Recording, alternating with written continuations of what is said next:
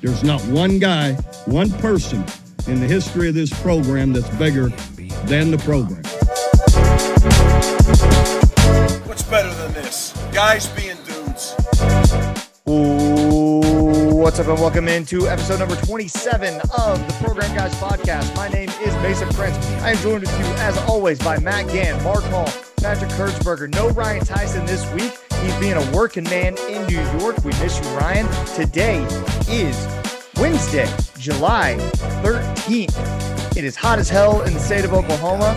I'm sure it's hot as hell down in Texas, but I bet it feels good in California, Pat. How you doing? It's 70 and sunny. It's a nice day. Unbelievable. Mm, I just got dream, baby. I just got back from Mexico. I was on vacation last week. If you listened, great episode last week that the guys Really pulled good. off. Big thank you to Ryan Heil for subbing in with that. Really King. appreciate it. Uh, go back and listen if you want to check that out. How's everybody doing this week? Matt, I see you got your Aaron Rodgers jersey on. Appreciate it. We're teeing it up. It's I'm coming. rocking. I'm rocking my Baker jersey today. Free Baker. He is freed Mhm. on the Carolina Yeah. Panthers officially as of Oh, we didn't get you and Pat's takes on that because y'all were gone. Yeah. Um, Big Y'all want to give a week. quick dish? I'm very happy for Baker. I'm glad that they say it's an open competition for quarterback. But if you legit think that Sam Darnold has a shot to win that job, you haven't been watching football. Like to say that Baker and Sam Darnold are on the same level is just complete and total BS.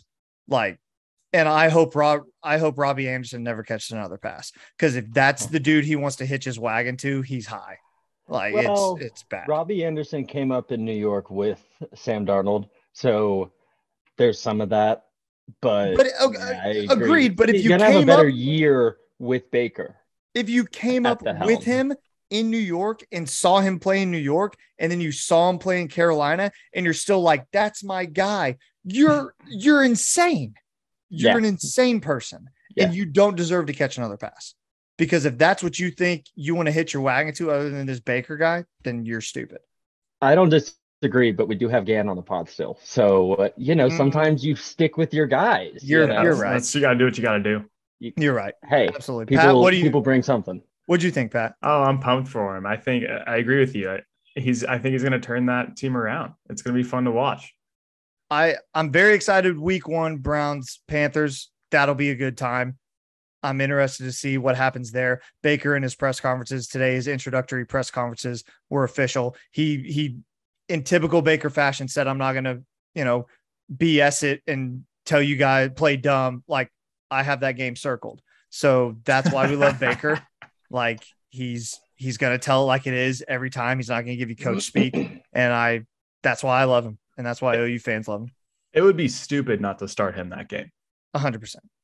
Like Oh, even I if you even if you're leading Sam for some stupid reason, uh, You know, you got to yeah. start him. They're know what I- going to call it an open competition, and I'm sure Yeah. that it will be. And they have to. The expectation is because Baker's a better quarterback, he'll win that job. Yeah. If I'm Matt Rhule or if I'm Baker, I go in and show him what I, what I did to Texas Tech in college and be like, "This is what's going to happen if you play me against the Browns." And Matt should just be like, "Yeah, cool, you're in." Like that. That's what he should do.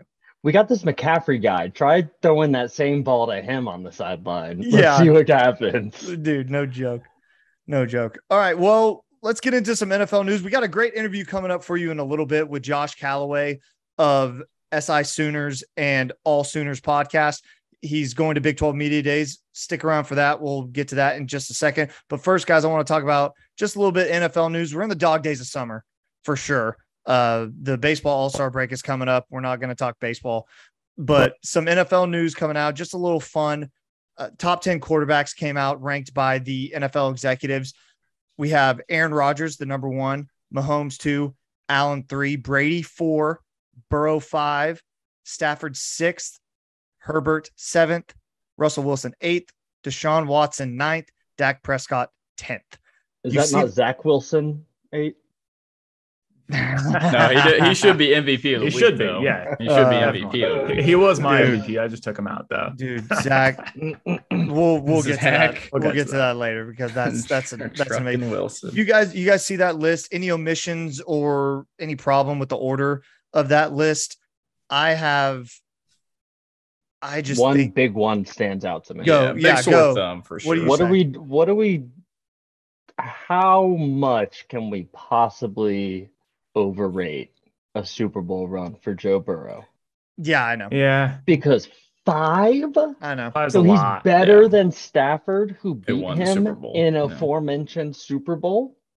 I don't think so, guys. I don't know about that. I also have trouble even saying he's above Russell Wilson when you give Russell Wilson the kind of weapons he'll have in Denver this, This is year. yeah. Yeah. This is Not the as problem. good as Seattle. What are you talking about, man?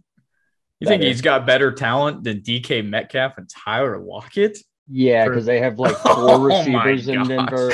Uh, they've got Alberto at tight end. Who plays tight end? You are Seahawks. some. I love this new good dynamic running between Mark and, and Mark. You and are And they've got smoking. two good running backs in Melvin Gordon and Javonte Williams. that DK they can use, Metcalf, too. Tyler Lockett. Oh I- man, Guarantee Killing me. you, he has a better year this year with the Denver Broncos than he did with the Seattle Seahawks. Yeah, last good year. luck in that division for sure. Hey, guarantee it. The, the division will be tough for sure. I to Mark's point about Joe Burrow, I think this is the problem that we always run into with the NFL and everybody wants there to be the next goat, like the next guy who's going to run the league. And people are so ready to latch onto that because they know Brady's retiring, they know Rodgers is on the tail end. They want that next guy who is going to be the poster child of the NFL. And they think it's going to be Joe Burrow. I don't know if it is, but after last season, people are putting they're going all in and they're and they're ready to call it now. So that's just kind of where I think that comes from. So I think it's and Super, recency. Super Super Run helps. Go ahead. Yeah, Matt. it's Sorry. recency bias. I would say. I mean, they had a great run to the Super Bowl, but I wouldn't call it a fluke of a year. But I got to see more. I got to see if they are consistent. Let's see what happens this year, right? So I, again, I think the order. I think it's one A, one B between Aaron Rodgers and Brady. I don't know how you put Brady at number four. That just seems very Yeah. illogical to me. We haven't even talked about it, but come on, guys. Deshaun Watson at number nine. I don't even know how we can consider him Wait, Top- wait. top 10 at this moment when he hasn't played and however long he still has all of his issues off field. When he does play, I think he's top five, but I, I just wouldn't consider him at this moment with all the legal stuff going on. He might not even play another snap of football ever again. So I have a problem with that. I have a problem with Joe Burrow, and we're omitting an MVP in Lamar Jackson, Patrick's Thank you. boy. He's not even on you. the. I would take out Deshaun Watson. I'd push Burrow back and I would have Lamar somewhere probably in that seven or eight range. I just don't know how, how you leave out a former MVP out of the top 10 list. Crazy to me. Go ahead, Mark. Okay, you said like a lot of things there. Uh, Yep. I agree with you on Lamar. He he should be on this list absolutely above. Like, why isn't he above Burrow and almost everyone there? That's what I'm saying. Um, Burrow should be pushed all the way back. I think Burrow should be like nine or 10. I think Lamar should be in that six, seven range, kind of looking there. Totally So- agree with that. The Deshaun thing, I, you know, they had their their way of doing it, and I'm sure some voters didn't include him, and that's why he's at nine. So that's another Yeah. conversation for another day. Right. Where when you said why is Brady at four, why do you say that? Like he should be higher, he should be lower. Yeah, I think Bra- I think Brady and Rodgers should almost be one A and one B at this point until one of them retire. I don't think either one of them should be So- above the other. so- but I'm so surprised see- Mahomes and Allen are above Tom Brady at this point, especially when Tom Brady almost had one of his best seasons all time just a couple years ago at 44. I mean, that's yeah, ridiculous. and that I I completely agree with Matt there. I'm once I said it during the season during Brady's playoff run. I'm to the point now where I'm not going to discount anything Brady does until he digresses or until he gets Yeah. worse, and he doesn't. He doesn't get worse. Never So- gets worse. So he he deserves to be either one A or one B, in my opinion. And because when you're the goat and you continue to play at the level that he does, there's no reason that you should ridiculous. be be that low. Patrick, Yeah. My man Lamar, you guys said it. He got snubbed. That's ridiculous. Um, yeah, I think I think he should be yeah, number three at least. No, I'm just kidding. But he should be in that list for sure. Other things that stand out to me, I'm just not a big Herbert guy yet. I don't think he's proven enough. I get it. He's got a great arm. He's an athletic guy, but just to me, Herbert is just not a proven quarterback and shouldn't even be in that list, in my opinion. he's got the Um, stats, and that's what he's got the stats, Yeah. and that's what gets. And a crazy the arm. I know, Yeah. I know, but I don't. We'll see. We'll see this year, especially because the Chargers are should be really good. So if he doesn't bring them playoffs and maybe even make a run in the playoffs, we'll see, and that's where We'll that's see. where I agree with you, Patrick. Is you look at that, and pretty much every quarterback on that list has some sort of playoff experience besides Herbert. Yeah. So that's my issue with Herbert being there. I am not discounting Herbert's athletic ability and his talent because he is extremely talented, but that has to count for something. Yeah. Man, it's so crazy that all the like you guys are right. I'm looking at this list and almost everyone's won the Super Bowl or gotten close to it, right? Mhm. Yeah. And all these execs and coaches and scouts and players are still like, yeah, this Herbert guy. Yeah. That's crazy to me because I that's such a good point. And, and Everyone not- else has like had postseason success. Yeah. And I'm just not a Dak Prescott guy. I, I wouldn't consider him a top 10 either. But I understand that he has the ability to be a, a top 10 quarterback. It's just for me. I think- yeah, I Yeah. could see like Kyler there maybe, but the thing is Kyler has the capability of doing it, but he's always hurt the back half of the year. Yeah. Whereas Dak, if he's healthy, he's giving you consistent play. And I think the I think the Dak thing is somebody's got to be 10. And the list starts getting thin when you get to that point. And to Mark's point, Kyler could be a guy you can make the argument for, but somebody's got to be 10. And when the talent pool starts shrinking and you look at the rest of the league and the quarterbacks and you're just not really impressed with anybody else, Dak's probably giving you the most. So that's I think that's where that comes from. Dak's sample size is bigger and more impressive than Kyler's. That's just where I'm at. So that's why I get him being 10. I'll just say one last thing. Yeah. I actually am kind of questioning Patrick Mahomes at two, especially now he's going Yeah. to his first year without arguably one of the best wide receivers in the league and Tyreek Hill, obviously going to Miami. So obviously he's still got a good caliber of wide receivers and obviously Travis Kelce. But it's going to be really interesting to see how Patrick Mahomes. I don't think there will be a significant drop off. It'll be interesting to see when he can't just chunk it down the field to the the cheetah himself. Uh, so that'll be interesting to see as well. Fam, I need this is this is completely off topic and we're not going to go deep into this. I need Tyreek Hill to shut the hell up. I need him to stop talking. Yeah. because he's not helping Tua and he's not helping the team. He is like putting Tua already had pressure on him. He didn't need the best, arguably the best receiver in the league to put more on him and like talk a bunch of mess about how Tua is like just as good as Patrick Mahomes. I like we don't need that at all. And it's driving me nuts. The reason I bring this up, Mark texted me earlier in the week and was like, dude, Tyreek's got to stop. And the and it's partly because I figured this out. Tyreek has his own podcast that he does like two times a week. So Mhm. literally just gets on there and talks about like his experience, team, which yeah. is which is his team and the Dolphins and Tua. It drives me insane. We don't need to do this. We don't. No. I'm We don't. against player pods. Let guys like, like us do it, you know? Let the pros handle it. the Let pros the handle pros it. handle it. Aren't you right? That's I'll, good. I'll Well, say one thing: they did yeah. get the number one guy right. My boy Rodgers, back-to-back MVP. I feel like that was pretty easily the most easy decision made. what do you think of his, what do you think boy. of his tattoo? You know, uh, Yeah, that's all. As long as it doesn't affect him throwing a football, I could care less. That's his personal life. That's his body. That's his Is it temple. is So, it on his throwing arm? I don't even know. Uh, I'm actually not sure. I don't, keep even up that know. I don't even know like who this guy is anymore. Yeah. He's just he's just a Back to back. MVPs, baby. That's all you need to know. He's just a weird. Matt, are you Matt? Are you uh, expecting an MVP level season this year without Davante? Because Derek Carr is another guy that could be on this list and probably will be after a, a year with Davante Adams. Yeah, it's a good question, especially when you lose arguably the top wide receiver in the league for the last three years. Uh, definitely going to be a significant drop off. The offense is going to be definitely going to squander quite a bit. Obviously, you saw what happened when he doesn't have a second option, and now they don't have a clear number one. So they're really going to have to rely on on Dillon and AJ, or I'm sorry, Dillon and Jones out of the backfield a lot this year. So definitely drop off, but the defense will be a top three unit. So.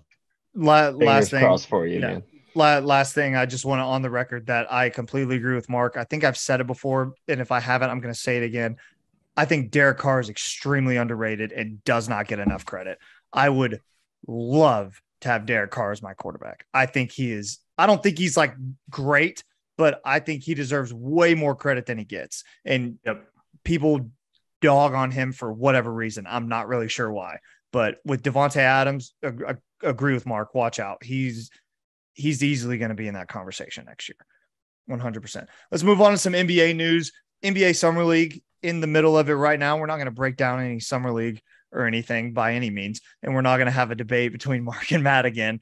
By the way, Mark won. That's my opinion. Yeah, I, I had a four doesn't for matter. Mark and a three for Matt. Yeah. That's fair. It fair. doesn't matter. That's fair. It. It- It- it's- like the it's whatever. Rockets' We'll- future. Yeah, we're gonna we'll move on from that.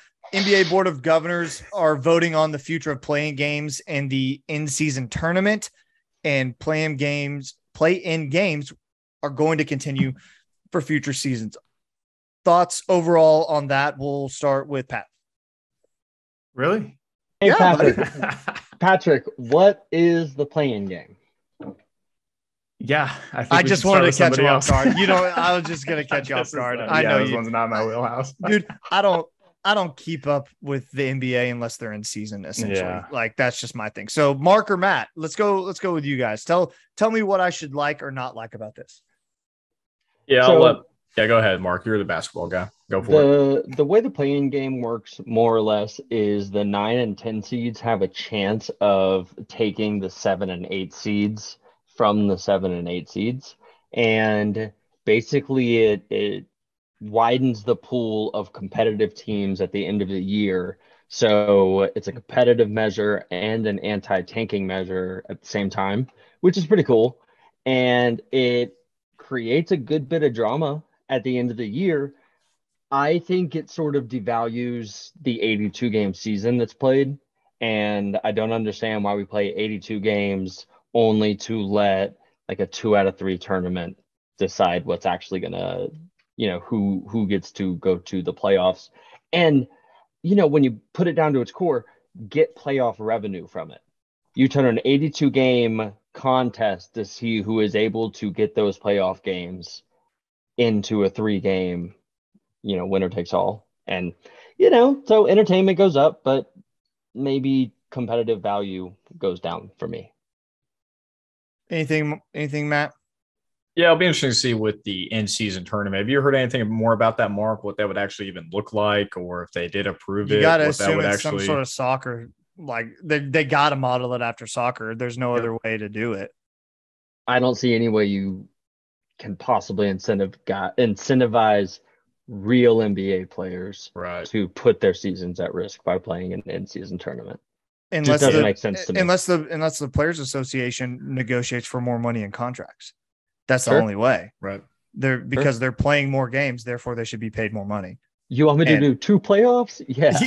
yeah, yeah, yeah. Tell tell LeBron James he's got to go play more games on in the in the in season tournament or whatever it is. Good luck with that. Yeah, Yeah. he's he's gonna sit. Do some load management.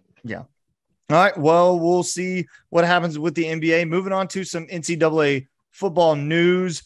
Conference realignment has slowed down significantly. I feel like at this point, we're kind of just waiting to see what Notre Dame does and what happens with the ACC. And I'm not sure we're going to see it the rest of this year. It's it seems as though it's slowed down, but I feel like Notre Dame is either going to be an SEC team or a Big Ten team.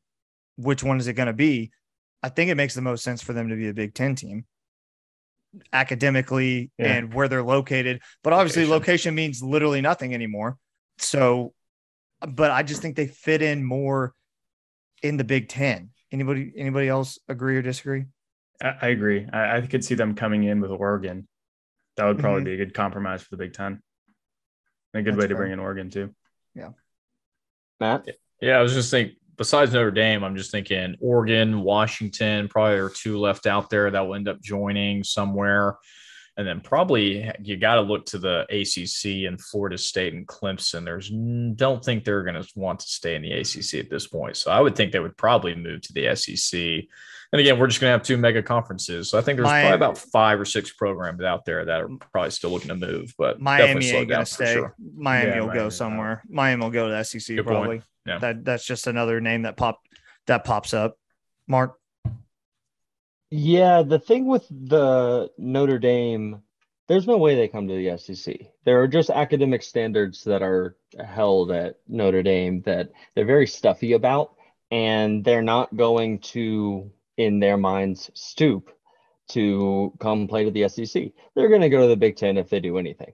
I could also see Notre Dame try and stay independent in all this, but I think that that's a fool's errand. Yeah. Um, as far as other teams, you know, Oregon and Washington, obviously, Stanford needs something to do, right? They're always a big name in college athletics, even if not always college football. So Yeah. they need to find a home.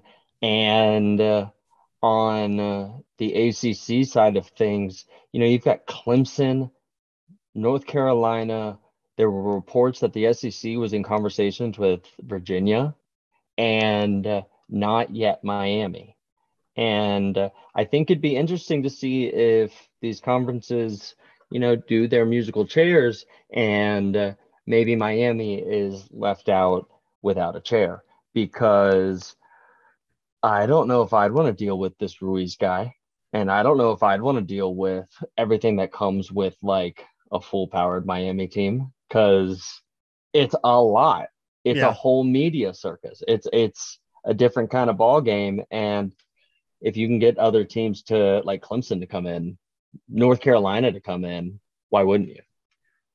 Another point with all the teams coming in, are they going to start kicking teams out or just leaving and creating a different a different league or you know division that doesn't include a Rutgers or uh, uh, Vanderbilt? Like at some point, that's got to start happening. You, there's only so much room for a team, like a certain amount of teams in a conference. Teams Doesn't need to lose too, though. Mm-hmm. Someone's got to lose. Yeah, I mean, yeah, but still, Well, who mentioned it the other? Was it last week or maybe the week before? Someone mentioned relegation. yeah. Mark made an incredible point about relegation, and I completely Thank you, agreed. With Pat. it. But there Yeah, needs Yeah, to I be don't know something if that will like that. ever happen. Yeah, but there does. it is it is interesting to think about because they are going to have to move around. It's all about money at the end of the day. Be interesting to see. I mean, it did. I I think Matt was right. It's going to essentially be two super conferences, and that's just what's going to have to happen. And there's going to be 30 teams in each conference or something like that. 30 is an exaggeration, probably, Yeah. but you you know where I'm you know what I'm talking about. So I think the ACC is going to get picked apart, and the Pac-12 is going to get picked apart, and we'll we'll see where the pieces fall after that. Uh, the Big 12 will stay together. I think their new commissioner will will hold down the fort and especially with the new teams coming in they'll be okay but yeah just it's it's weird the the landscape's changing and it it's cyclical like everything always changes you know it, it it's not going to stay the same forever but here here we are we're in the middle of it right now let's move on to our interview with Josh Callaway of All Sooners take it away right now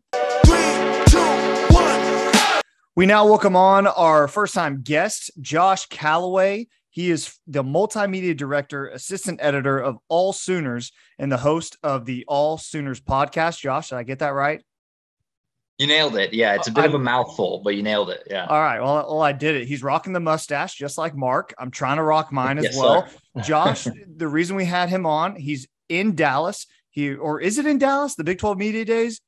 I don't Arlington. remember. right? Arlington Yeah. Cowboy Stadium. So yeah, See, close okay. enough. so Josh, I'm kind of older. I when I went to Big 12 Media Days when I was a journalist, it was in Dallas at the Omni in downtown Dallas. So Oh, I yeah. never got to go to like Jerry's World and see like the cool stuff that they had at Jerry's World. So Yeah, the I- first time I went, it was actually at the Star in Frisco. Yeah, That- that's where it I was, and then they that. moved it over to Cowboy Stadium. That's where it's been the last I don't know few few times, but uh, it's a good event. Big 12 Media Days is a good event.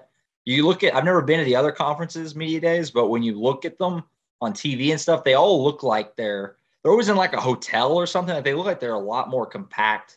Big 12 Media Days is very big, open. It's a good event. You know, people make fun of the Big 12, but it it's uh they do a pretty nice job, I think, uh, relatively. Yeah, Having SEC Jerry World in Dallas is such a regional advantage to Yeah. the Big 12. Like that Big 12 championship game, media day, all of it. They just Jerry's right Sure. there.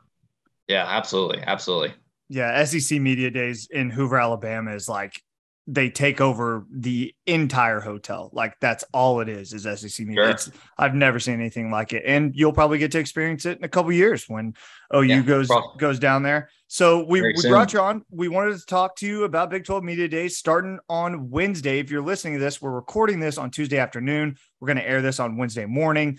Uh, you'll hear this when you wake up. So it'll be Big 12 Media Days time. And for me, Josh, it always feels like the unofficial start of football season. I know there's a lot of unofficial starts, but for me, as a guy who's been to Big 12 Media Days, this really feels like the start of football season. What do you think?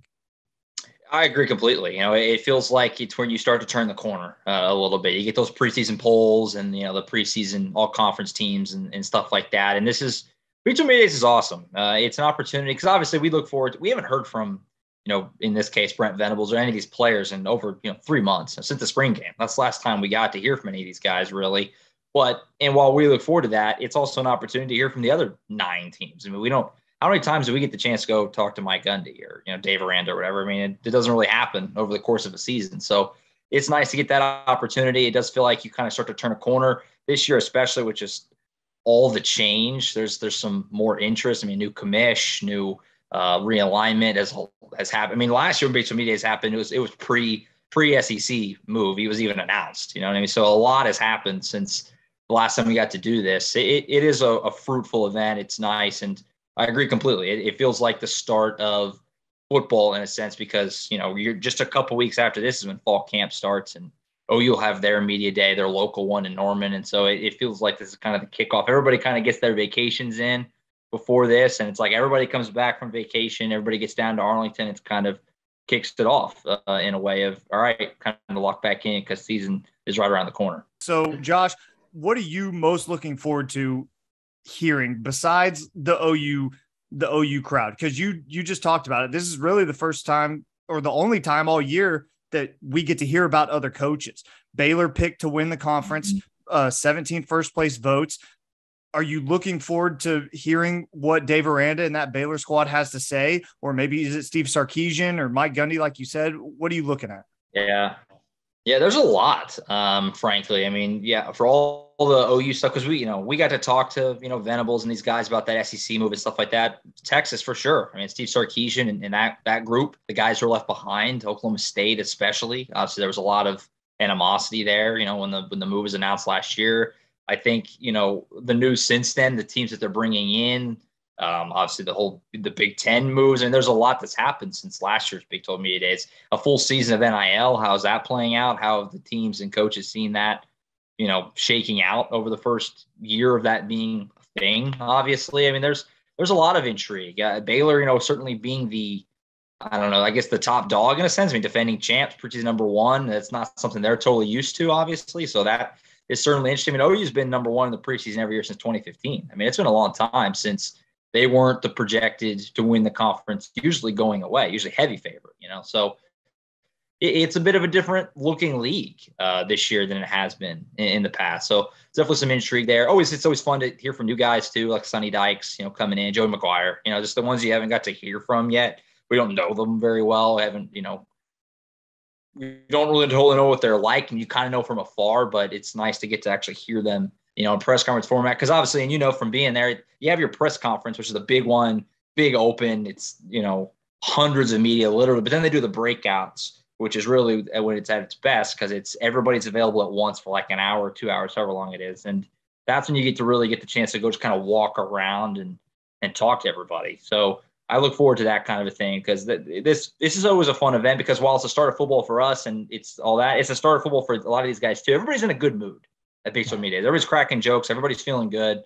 Everybody's zero and zero. You know, everybody. It's one of those type of things. So it's uh, it's it's fun to get here from the new guys, and and certainly just all the changes in college football in general uh, since the last time we did this is gonna be interesting to hear about.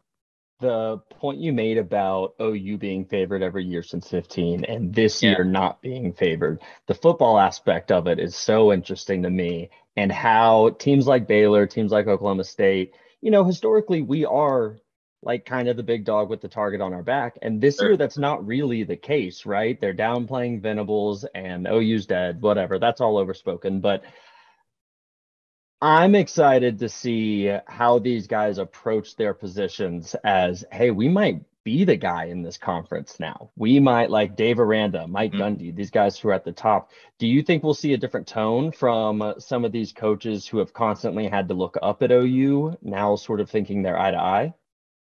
Yeah, I'm very interested in that because it's such a weird dichotomy this summer of you know it seems like half half of you know the country wants to throw dirt on Oklahoma. You know, it's kind of painted them as the next Nebraska, kind of going to fall off a, a cliff because of the move and because of Lincoln leaving and and all this stuff. And the other half are, are still saying they're going to be just fine. You know, Brent Venables going to be just fine. But I do think that pretty much across the board, and obviously when you're around the team all the time, like like I am, or, obviously you guys, you keep up the team all the time. We see it as it's going to be fine. And, you know, I'd be surprised if it's not fine. And I don't think they're going to fall off much at all. But I, I, do think that generally OU is looked as vulnerable uh, right now. This is the kind of the time to strike uh, pretty much on Oklahoma. This transition. Oh, you know, they did lose a significant amount, obviously, in the transfer portal and the draft.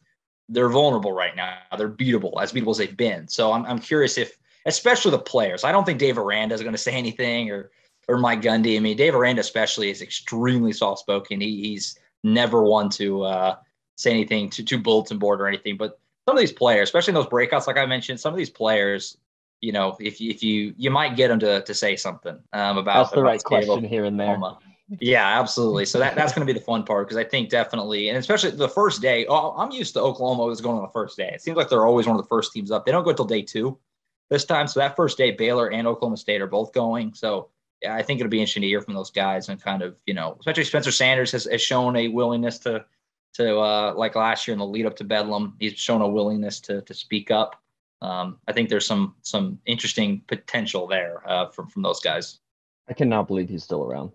Yeah, I know. And then Mason goes, but I cannot believe it. It's it's it's crazy, and it's funny you mentioned Spencer Sanders. It's something that I wanted to get to. Now he is the first team All Big Twelve quarterback based on voting. If if you don't follow Josh on Twitter, you should at Josh M Callaway. He has some really good tweets. You had one earlier in the week that, or it was last week, I should say, when these teams came out, and it was Brent Venables saying, "Team 128, you will get what you earn." dirty hard work in the dark. And you said yeah. quickly learning that Brent Venables may not necessarily seem like the type, but this dude definitely keeps receipts. And I completely agree with that statement. Yeah. He definitely seems like that kind of guy. How motivated do you think this team is going to be? And were you shocked as a voter that there that Michael Turk was really the only guy? Well, you can include Dillon Gabriel as a newcomer, but the only guys sure. that were on the team.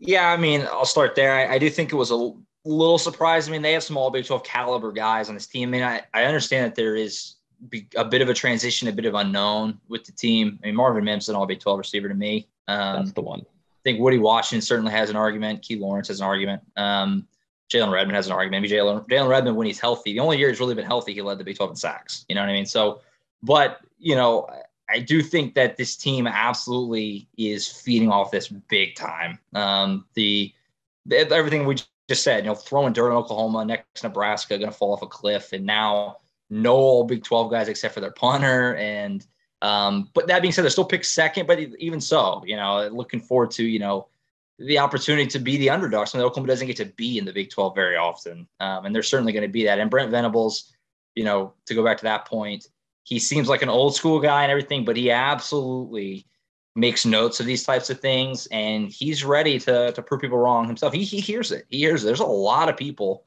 which is kind of crazy, but there's a lot of people that doubt Brent Venables' ability to, to lead a program himself. And he's never done it. And I get that. But I mean, Lincoln Riley had never done it. Um, Bob Stoops obviously had never done it. First time head coach is what OU does. You know what I mean? So um, I definitely think he's making notes and he's, he's telling these guys and, and that team 128 thing has been, one of his biggest staples, one of his biggest things he brings up all the time in terms of, you know, the previous 127 teams don't really matter. It's about this year's team, um, you know, and telling these guys that OU is great. They're going to continue to be great, but this is your chance to make this year's team yours. You know what I mean? So um, it's going to be interesting. I, I definitely, I, am interested. That's one of the more intriguing aspects for, for Oklahoma specifically at Big 12 Media Days. Just because it's going to come up, you know, no Big 12 guys, you know, no, only pick pick second this year, first time in seven years, stuff like that. That's going to come up, and I'm curious to hear uh, what these guys say.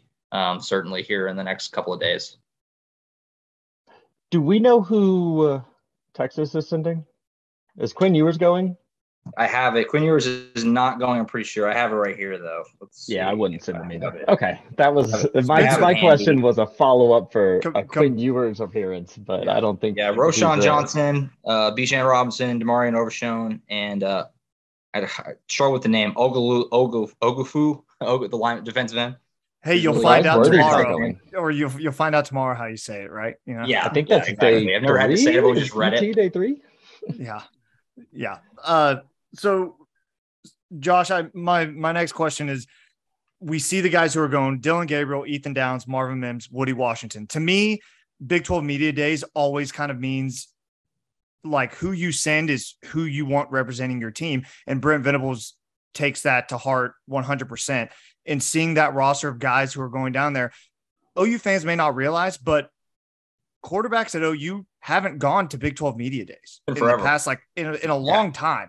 So the fact that Dillon Gabriel, his first year on the team, going down to represent this team says a whole lot to me about what Brent Venables and this staff thinks of him right now.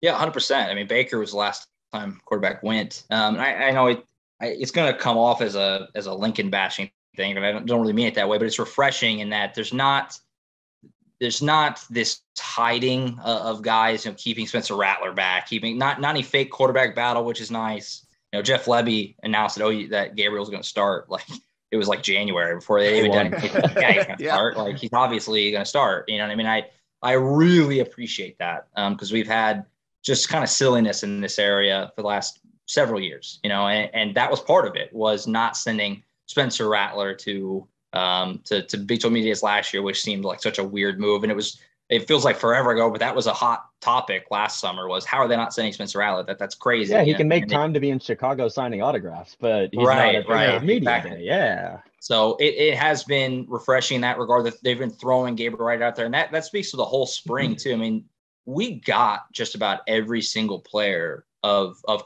consequence at all in the spring at some point, which, you know, again, not to just bash on Lincoln or anything, but it was very guarded before. We know we didn't get Caleb Lives all season. You know what I mean? We we didn't get to hear from a lot of players. We only heard from about the same like 10 or 15 guys all year. In the spring, we heard from just about literally everyone. They throw everybody out there. They're very open. We got to go to practice a few times.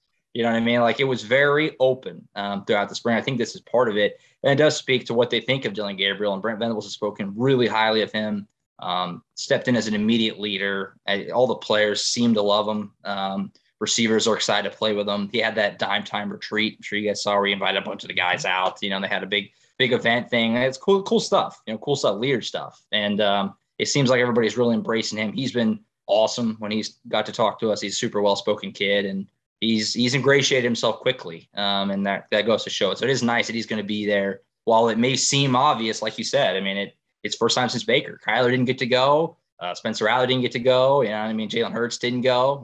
You know, I mean it, it's it's been a long time since we got to actually have the quarterback there. So uh, it's going to be a nice little change of pace. I think it speaks a lot to what this staff and administration, I guess, sees out of Dillon Gabriel. That Mhm. since his transfer, he's almost been like a part of the brain trust with them. As far as Yeah. he's the one on the on the offense, you know, calling out the plays, shouting at people. It's not Jeff Lebby sprinting onto the field during the spring game. He's on top of it. He's organizing the dime time retreat. At least for this year, it seems like they've decided, hey, Dillon, you're our guy no matter what, unless you know we start two and three, something crazy. Sure. We're hitching our wagon to you. Go lead this team. And this is just another example of that.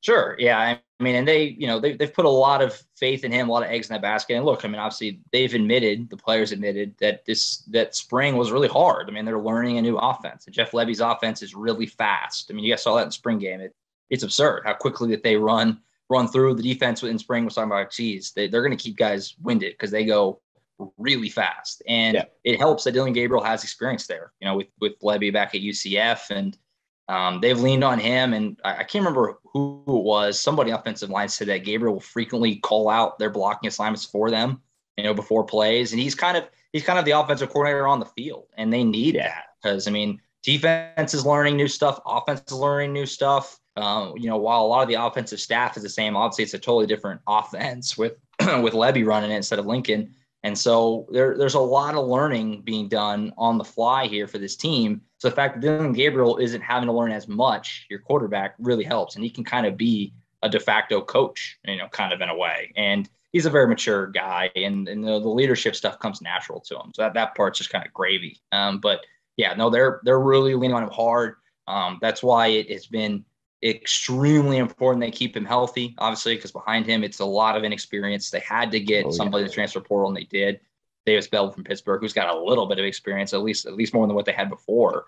General um, Booty too. I'm high on General. Booty. Yeah, General Booty from the JUCO ranks. I mean, they're they're um, obviously all their eggs are in the Gabriel basket for sure, and um, he, he's you know they, have thrown him right to the forefront as being a face of the program type of guy right away. Let him play both teams in the spring game, you know stuff like that. I mean, he is he's right away as you know this is our guy. He'll be a captain, I'm certain. Um, oh, yeah. and, all that. He's he stepped right in as you know kind of a base of the program type of thing, which is what you want, you know, from your quarterback. It seems like all four guys they sent could be captains. Like this was sure. a even captaincy. Down, even yeah. down is crazy impressive. Um, it's been awesome to see how quickly he's risen. Um, that was not he was the biggest surprise. Mims and Woody and Gabriel were all kind of like almost givens that they would be there. I was surprised that Ethan Downs is going down, but not at the same time. I'm surprised, but not because he is really well spoken, um, program guy, you know, company man type of thing. Um, he he uh yeah, he he's he's awesome and he's a really talented player. He's going to be really good. He's he's got potential to be great by the time his time's done. I got to call him a couple times in high school at Weatherford. He was just it was hilarious. He would just dominate people. He played both offense and defense, and he he's been great so far. And you can see him quickly you know, kind of climbing the ladder as a, a leader and all that kind of stuff. The fact that he's sending, they're sending him to media days is speaks a lot about him as a younger guy. Right. I'm not asking you to break down the overall media psyche or break oh, down, you know, other other people's psyche outside of the OU football program. But we struggle on the podcast week in and week out.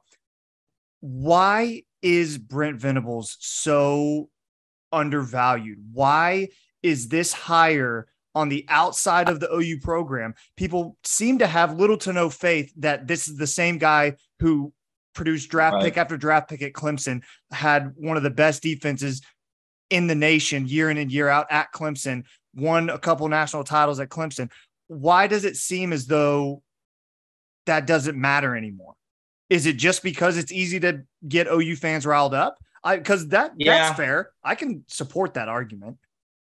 Yeah, I think that's part of it. I think it, it, it sounds extremely simplistic, but I think it may partially just be because Brent's not overly flashy. Um, he's not Lane Kiffin. He's not going to be tweeting a bunch of crazy stuff. He's not all offense, scoring 60 points. Uh, he's an older guy. He's not a young hot shot. He's in his 50s. You know what I mean? It, I don't know. I think it's might just be kind of that that simple. He's not. He's been on the radar for so long. I mean, people know Brent Venables is. He's been the DC at one of the most successful programs that there is for the last decade. You know, and Clemson got multiple rings to his name. I think it. I don't know if it. It's a strange thing, and like I said before, you know, there's been a lot made of like he's never been head coach before, and it's like, well, Lincoln had never been. You know, it's like these weird things you could easily poke holes in. These weird arguments. Um, but you know what? We'll see. It's been strange. Um, I think people are having a hard time grasping the the identity change too for Oklahoma. They become so well known for offense and and not a lot of defense that it's going to take like and uh, even even when last year where the defense really was like winning them games at times it still took people forever to come around to the fact that like they're not all offense anymore. You know they really are much more balanced and now it's going to be defense driven at least at the start uh, i think because it's going to take a little bit of time for this offense to catch up i think. So you know it it, it is strange um, I, I think generally national reporters maybe just have a hard time seeing everything. I mean, it's easy for for me. I cover one team. You know, I'm able to see. I mean, I remember seeing. I, I honestly can't even remember who it was. It was like a pre, you know, pre-spring top 25 or you know, so one of those types of oh, things. Oh God! and it had notable transfer additions listed for the teams, and it didn't have for Oklahoma. It didn't even have. It had like five guys, and not and Jeffrey Johnson was not even on there. And I would say he's behind Dillon Gabriel, maybe the next most important transfer they got. And that, that's right. kind of a that's a small example, but that's kind of speaks to the larger point of like they just don't see everything with every team. So it's kind of important to take all that stuff with a grain of salt because Oklahoma did a really good job in the transfer portal. And I think the stuff that's hard to quantify is how much better some of these guys are just going to get by having just better coaching. I mean, Todd Bates is as good of a position coach as there is in college football. Like, we don't think that obviously uh, Jeffrey Johnson and Redmond and these guys aren't going to just absolutely take off under him or, or specifically for linebackers has been a big one for me because linebackers were somewhat disappointing last year. That's Brent's forte. And you have Ugwoegbu and DaShaun White and these guys who look like NFL players now, like the way their bodies are and stuff. They were kind of underwhelming. I don't think that's going to be an issue now, you know, with, with Brent and this this uh, this defensive staff. So and Schmidt, obviously, you know, getting them to their peak physical condition and stuff like that. So um, it just I think it may be hard for people to totally grasp all the changes. And also, it's important to note that from afar, you know, again, when you watch OU every week and you cover them, you could see how the, the program was not going in the direction that people thought it was going to be going uh, under Lincoln Riley. Whereas I think from a wider lens, people just view Oklahoma as they were just rolling right along. They had another great quarterback. They're playing, you know, all these. They were on track to maybe win the Big 12 again. They didn't. They don't see the issues from afar that that were clearly there when you watch a team every week. They had regressed. In 2021 was massively disappointing. I mean, when we did our you know, preseason show last last year, it was championship or not. Like that was the conversation: was this team going to win the Natty or not? They obviously didn't even play for the Big 12 title. It was an extremely underwhelming season. So I think that's part of it too, is that they don't see how it was kind of not going the right direction and that this was a change that OU fans really wanted. And as soon as Lincoln left, it was Joe Castiglione and this this team, they wanted to go a totally different direction. And they did. Brent is the anti-Lincoln in almost every way. They're totally opposite guys. Recruiting philosophy, offense, defense, all of it, personality, they're totally, totally different. And so it's going to take people a minute to kind of uh, adjust to Oklahoma being just you know a total different program now. Awesome. We're gonna get you out of here on this. I got one more thing for you, and sure. really appreciate your time. But Baylor picked to win the conference. How did your vote shake out? If you did vote, and what is we asked Eric Bailey this during before the spring sure. game. What is a realistic expectation for OU fans to expect out of this 2022 version of the Oklahoma Sooners? Yeah, full disclosure, I didn't submit my ballot. Um, You're not the I, only one. Some people think the ballots are BS. So yeah. I've just figured I'd ask you, you know? Yeah, I didn't do it. I would have picked OU to win the Big 12 if I had. I mean, I, I didn't mean to, and I just, I just didn't get around to it. No one's um, going to be mad at you. No, no it, you know, you look at how many first place votes there are and how many people go to 12 media days. There's a lot of people that don't submit their Yeah, 100 I learned that pretty yeah. quick. I was like 17. That's it. There's like hundreds of people there. But um, yeah, because um, they send those ballots to everybody. Yeah, they send them yeah. to everybody. Yeah. yeah. everybody gets a ballot. So, um, but I would have picked Oklahoma. I, I think Oklahoma's the best team in the Big 12. Um, I mean, I I have a, a, a high reverence for that defensive staff, especially. I, I just really think that Miguel Chavis and, and Todd Bates and um, even Jay Valai and Brandon Hall and Venables. And I just think that the, the defense is going to be noticeably better right away. Um, I really do because they have talent there. Like I said, I mean, Jalen Redmond and these linebackers, and they have a lot coming back. The secondary should be a lot better. I mean, I look back there, the guys they added, Trey Morris from North Carolina, I really like. Key Lawrence is going to take a big step up, I think. You know, I think the defense can be a lot better. So I would have picked them to win the Big 12. Um, I think they're a really good team, and, and obviously, if you win the Big 12, you're you're in position for playoff if things break your way. I mean, their schedule is relatively friendly again. I mean, they don't have to go. I mean, they go to Lincoln, which is maybe trickier than it would seem because Nebraska was better than their record last year. I don't think that's a gimme by any means, but I think they their non-conference is pretty pretty friendly, relatively. You know, you know, relative to some past years. They don't have like an Ohio State on there or anything like that. Um, and then, you know, they get to play Baylor at home. Um, they get Oklahoma State at home. They get Kansas State at home. You know what I mean? So schedule's pretty friendly for the most part. Um, I think that they can win the Big 12, certainly. I expect them to. And then when they do, they're probably going to be in the playoff. Now, I think that their talent is going to take a little time to catch up, um, you know, to the top dogs right now because this is a transition year. 2021 was supposed to be the year, and then they were going to maybe take a little transition into 23, which is supposed to be Caleb Williams' big, big shot at a title next year. But um, they're going to be really good. They're going to be right there. I think they win the Big 12, and and when when you do that, you're pretty much automatically in position to make the playoff. Because I, the way I've always talked about OU for a long time is a one-loss Big 12 champion Oklahoma is going to make the playoff 99% of the time, barring you know something very strange to happen elsewhere. And I think that's probably about where they land is no more than one loss. They win the Big 12 and they're in the playoff at the end of the year, and then we'll we'll see how it shakes out from there. But uh, sky's the limit. I think they're going to be really good. I don't under you know the over under of like nine and a half wins, eight and a half wins. I'm hammering the over. Wild. Yeah. Crazy stuff, Yeah. man. I don't see where the losses are. Um, No. but you know, we'll see. And the fact that Dillon Gabriel's the best quarterback in the league, in my opinion, also. So that, Dude. that certainly helps. Josh, He's the only give it- one we've seen do it, Yeah. right? It's him or Yeah. freaking Adrian Martinez now, and give me Yeah. Dillon Gabriel.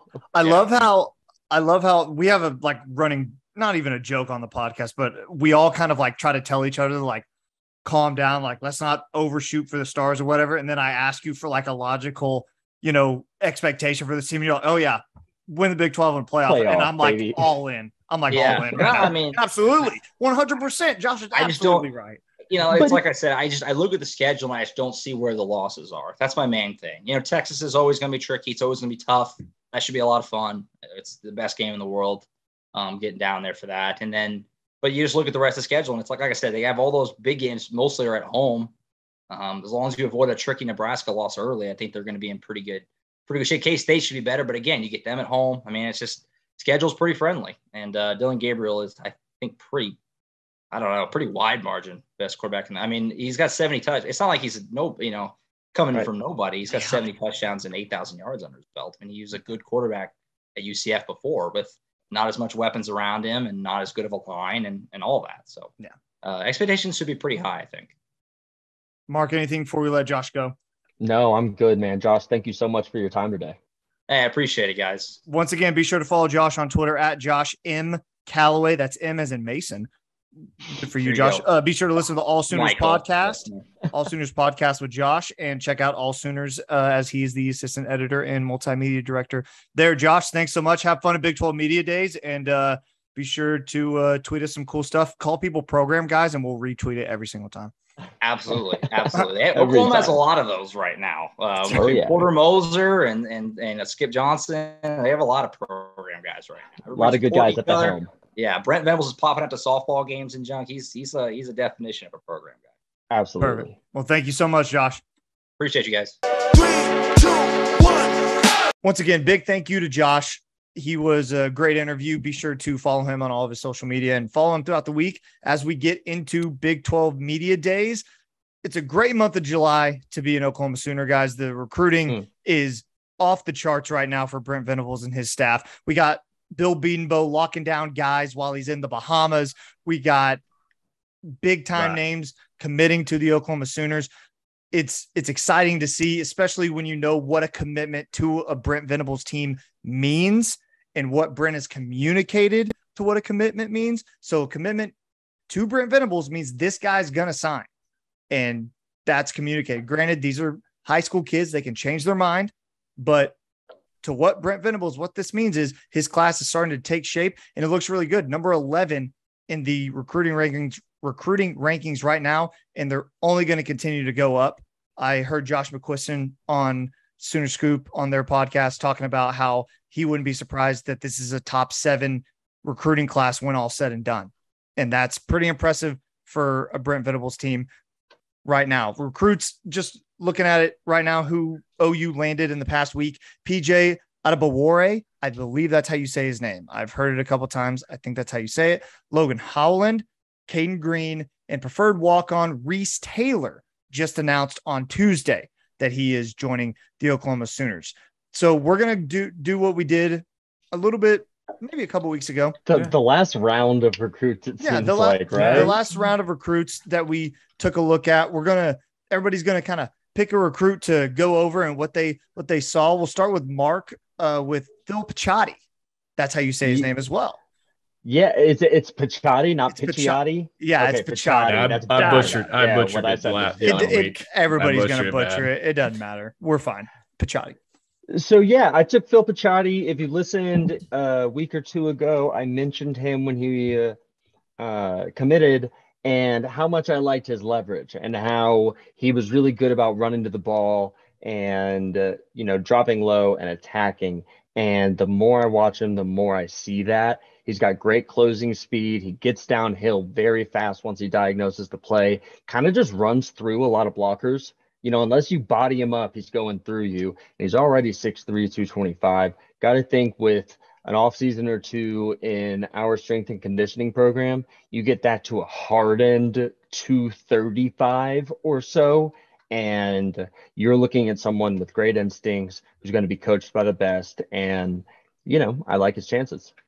But, also, real fast, he's from Pennsylvania. And I just love getting guys from out of region, right? That that this guy didn't go Penn State is awesome. It is not to be under exaggerated how much Penn State has a like a stranglehold on the state of Pennsylvania. And to go in and get a highly rated guy like that out of Pennsylvania is massive for for Brent and his staff. That that's so huge. You're absolutely right, Mark. Patrick, who you got? Yeah, speaking of the Northeast, I've got Logan Howland from Princeton, New Jersey. He's a three star, but in my eyes, this guy's a five star. Nice. Um, he hasn't been playing. Uh, he so he's uh, offensive lineman, but he hasn't been playing offensive lineman. He typically plays on the D line and then also plays some tight end here and there, here and there. So like, could be cool. Maybe we have a package for him catching some touchdowns, but probably not. Anyway, he is 6'7", 280 pounds. To put that into perspective, that's two inches taller than me, but he has hundred pounds on me. That is crazy. That's incredible. Nuts. You're skinny, like, Patrick. You're skinny. I know. Yeah, kind of a weird flex on the fat. I'm pushing 185. I've been pushing 185. Super health pat right there. California Pat. Uh, no, but overall, this guy is just like a really good kid. You can totally understand like why he came to the University of Oklahoma because when he speaks, it sounds like he's also preaching like a BB speaks. So you can totally tell why, like how we're on the same page. I think this is another huge win for Bill Bedenbaugh offensive line. Like, great job recruiting this guy. He's going to be a huge guy. Um, and then, like, just when when he talks in interviews, he seems so ambitious. Every single like interview he has, first 30 seconds or a minute, he mentions the National Football League. This guy does not want to stop in college football. He wants to play in the league. And he came to the University of Oklahoma because he felt that this is the best place for him to get into the league. A couple other places he was recruited from Miami, Iowa, Michigan. His quarterback went to Iowa and we still beat them out. So another another big reason he went to OU. We're going to SEC. He mentioned that we're beating out teams for these guys because we are going to SEC.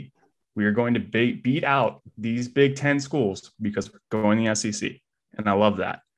Um, yeah, I mean that's pretty much all I have on him. He's incredible, good mentality, good head on his shoulders. I'm really excited for for him and where he where he goes next.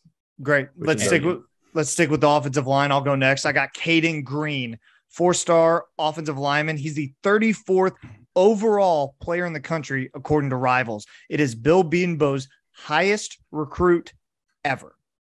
That's saying something with the names that are on Bill Bedenbaugh's list. He's not overly quick. I watched his his sophomore and junior season highlight tapes today. Granted, those are highlights, so you know it's not every single play, and I'm not going to claim that I broke down his film for hours upon hours, but seeing what he put out there, he's he's not overly quick, but man, he he is the biggest dude on the field, and he is the grownest man on the field. 6'5, 310. He finishes blocks with authority. He is he blocks angry like mm. Orlando Brown did. You know what I mean? Like he, I don't think he'll end up being a tackle. I think he's going to be more of a guard guy just because he is so like he's round. He's not like he doesn't look like a tackle. Now, a year under Schmitty with that weight, yeah, mixing up and getting on a correct diet plan and like they have all their hands on him and they know how to mold him he could be a tackle and he could be an absolutely great one. But just imagine now he's 6'5, 310. A season under Schmitty is going to be insane. That guy is easily going to look like a freak of nature. He's overall, he overall, he's a four-star offensive lineman, and you want him to be dominant.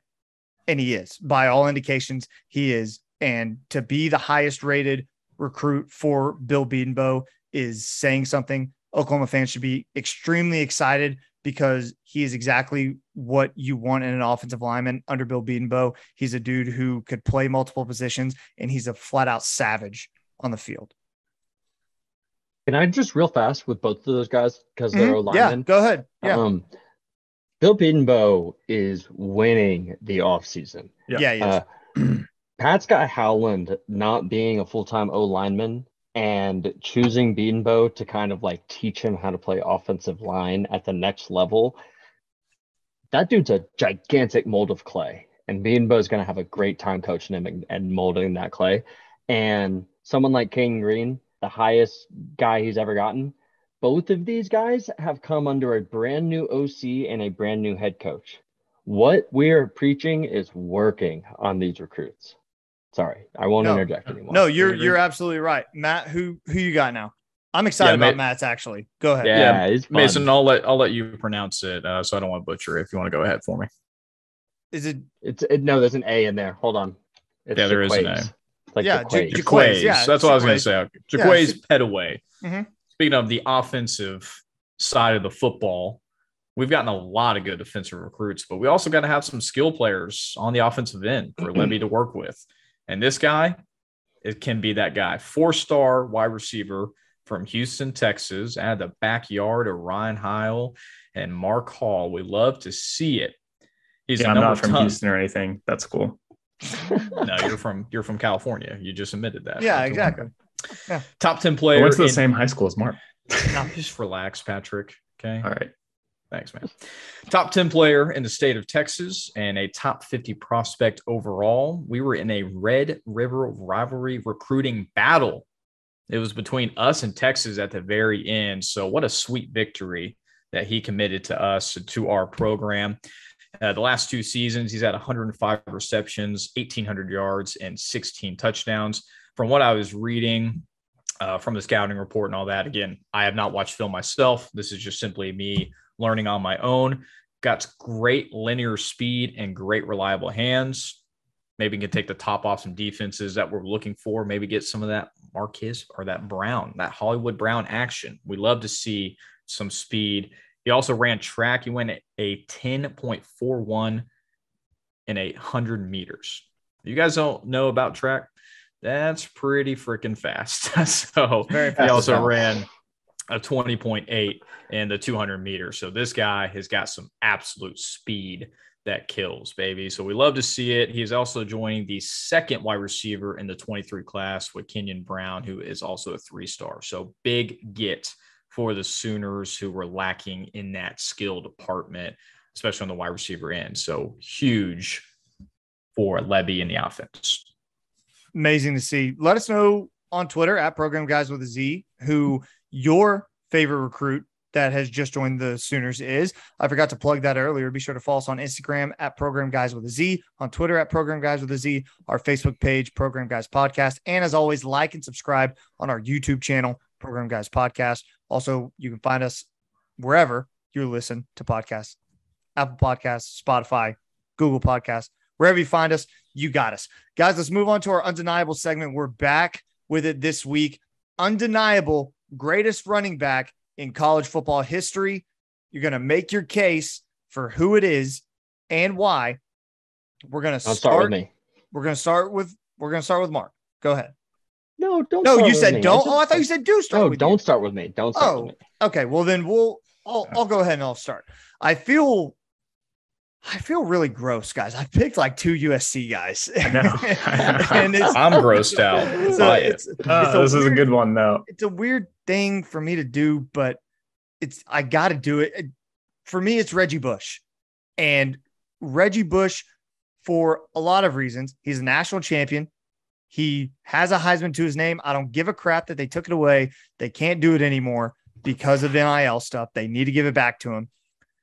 Reggie Bush with his Heisman, all of the stats, that all of the All Americans. And more than that, he was the running back of a generation. When I was coming up in school, everyone in youth football wanted to be Reggie Bush. They wanted to be his his quickness, his cuts, all of that stuff. When you think of college football in the early 2000s, you think of Reggie Bush because he was that electric. He returned kicks, he did it all. He was the number one guy on that USC team that you think of with the the Pete Carroll years. I think it's Reggie Bush. And even though he split some carries with LenDale White, I still think he's the guy you think of most synonymously with those USC teams. They wouldn't have won without him.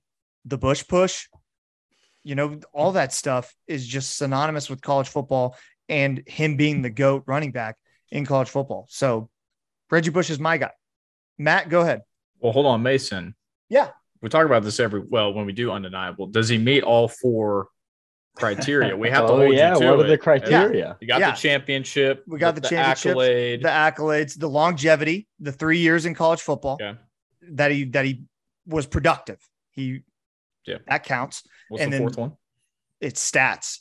And I don't have the stats in front of me, but it, but they're disgusting. So just if you I want mean, a Heisman, he's got to have some good stats. yeah, so I mean, just just look at you can look him up. I don't have him in Yeah. front of me, but check, I don't check. feel for for Reggie Bush. I feel like you don't need to. You know, you you knew what he did, the all-purpose yards, all that all that stuff. I almost cursed. Well, listen, Tyson's not here, but when he listens, I did it for you. Yeah, you kept- thank you. always keep Mason accountable. I know I appreciate it. I got you, buddy. I I needed got it. you. I needed Yeah. it. You go ahead now, Matt. Yeah, guys, I have to with this guy. He's an Ohio State guy, so I feel a little bit of gross too, but that's okay because he is one of the all-time greats. Better Gotta than go. USC. Better than USC. You know. That's true. Ohio State's Archie Griffin. He is the only running back and only player to win back-to-back Heisman's.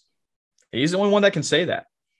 Three-time All-American, went to or won four Big Ten titles, and went to four straight Rose Bowls. He's the only player to ever do that, ever. And three All American seasons. He accumulated over 5,500 yards and all purpose. He had over 6,500 and 26 touchdowns. And he holds the NCAA record for 31 straight games of 100 yards. And I remember seeing an article what he was most proud of. It wasn't the Heisman's, it wasn't the Big 10 championships. It was 31 straight games. And what he said was how consistent of a performer and an athlete he wanted to be. He proved that in 31 straight games in the Big 10 with Big 10 opponents, back to back Heisman's. I just don't, the only thing he doesn't have is obviously a national championship. Obviously, it was a little bit different back in the 90s. There were some great teams. But to say you've won the Heisman, you're the only person that's won back to back years, I feel like that's really hard to beat. I can't wait to hear Mark on this one for his because he is absolutely wrong. Okay. Speaking of that's a good segue. Segue. We'll go we'll go to Mark now. Let's do it, baby. Matt, I wasn't going to come after you. I feel dirty too. I picked Oklahoma State's Barry Sanders to be my selection. Now, he doesn't hit one of Mason's criteria in longevity, in that he didn't have multiple super duper lucrative productive seasons. Uh, he had one year of 325 yards, one year of 600 yards. Both years he's behind College Football Hall of Famer Thurman Thomas. So if y'all aren't going to give him a pass for that, I don't really know what to tell you. I think he deserves a pass for that. I think he does. Thank you. That third season, when Barry Sanders was given the reins, he ran in 11 games, not no, you know, 15 games like teams played this year. In 11 games on 344 carries, he ran for an NCAA record to this day, 2,628 yards.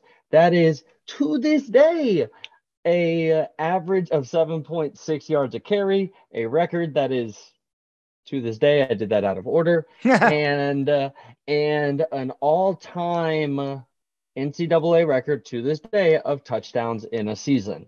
He also, I just counted, in eight of those games, scored more than three touchdowns. In seven of them, he scored more than four touchdowns. The guy was insane.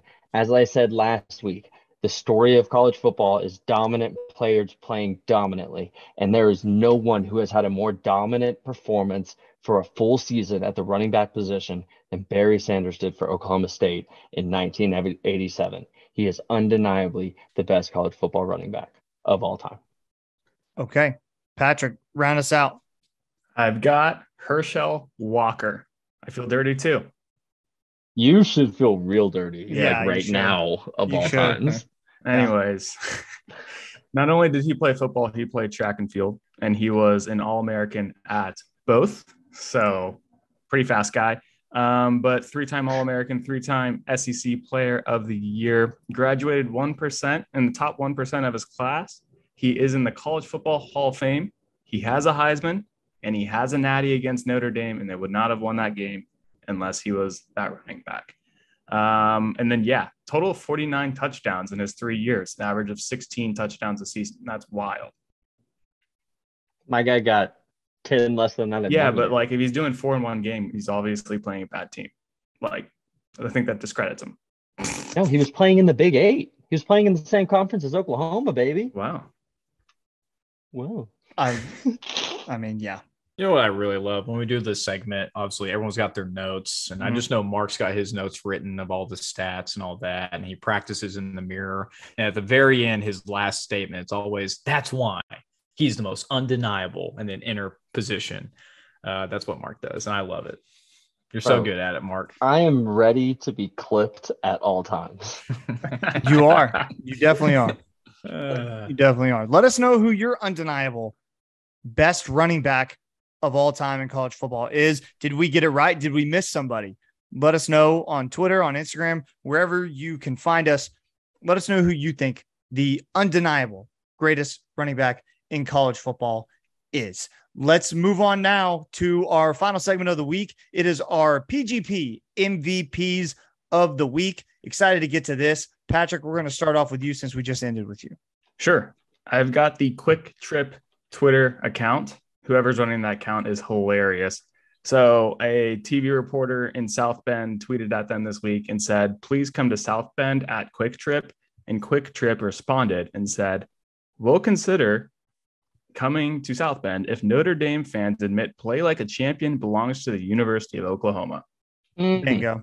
QuikTrip didn't have to potentially upset thousands of customers, but they did because they know play like a champion is an Oklahoma saying and that we invented championships. And I thought that was awesome. That that is a good one. Also, QuikTrip for those who don't know in Oklahoma City, all time great gas station. It's so I got a friend who it's it's his favorite restaurant. I'm not joking. His he says his favorite restaurant is QuikTrip. As far as gas station food, it's only second to Buc-ee's for me. And Buc-ee's is a whole different monster. When I when I lived in Virginia, there's a place called Sheetz, and Sheetz is pretty damn good. Sheetz is like really really good. That's that's, that's like a northeast kind of thing. Hmm. They don't really have them anywhere else. Um, Sheetz and Wawa. There's that's the big Wawa, battle. That's the big battle in the Northeast right there for for gas station supremacy. But the QuikTrip I'll always love. The, Yeah. Those spicy chicken taquitos got me through every early morning football thing I ever had in high school. It was great. Matt, who you got? Patrick, I'm really disappointed you didn't go with the other person. 'cause- Ah, yeah. You can go with them. Go ahead. No, no. There's only one true MVP, and that is my guy tennis, Novak Djokovic. You guys know I had to do it. Big tennis guy, as you guys are all aware well of, and, I and guess knew so. for a very long time. Yeah. Played in the classiest tournament in all the world, Wimbledon, winning his fourth straight Wimbledon title. I didn't say his fourth, I said fourth straight, four years in a row. That is pure dominance. His seventh overall Wimbledon win, notching his 21st Grand Slam, which is putting him one behind the all time record. Can anyone guess who's got the most all time Grand Slams? He's still currently playing. Nadal. Yeah, Nadal. It is Nadal at 22, the king of clay. This You're is welcome. probably one of the greatest generations of tennis players. If you guys don't watch tennis, you need to. Djokovic, Nadal, Federer, all on the older end of their career, but still dominating people. It's got to be Djokovic, fourth straight title. Incredible to watch. Love it. I'll go next. I got Tiger Woods as my MVP of the week. I think it's my second time giving him Every him week my we get a MVP. Tiger Whatever, keep giving it to him. Mason. Love it. Look, man, it's the British. It's the British Open this week. Going home to the home of golf at uh, St Andrews in Scotland. They're going. It's the 150th British Open.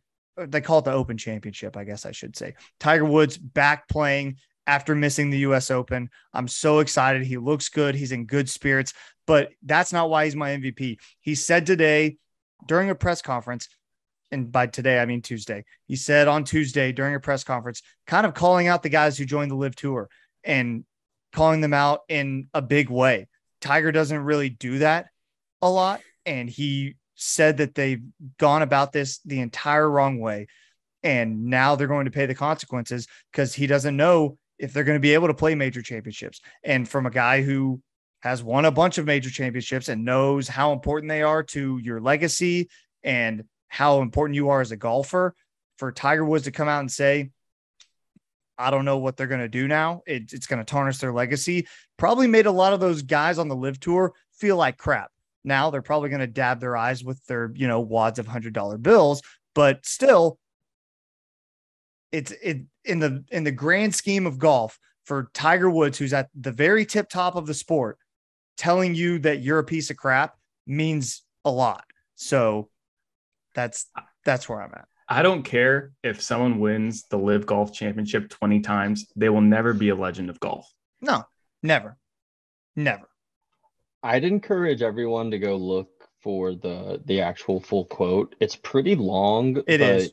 Tiger is super like you can tell he has thought about this from a lot of different angles and uh, things that I wasn't thinking about, things that I just didn't know.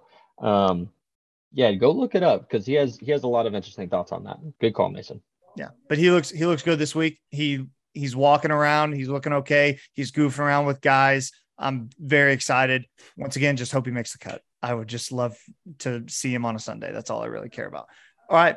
Who who's our last? Who rounds it out? Mark. It's it's me because I was last um putting mine in. So I'm gonna so my MVP is all of our collective Oklahoma fandom.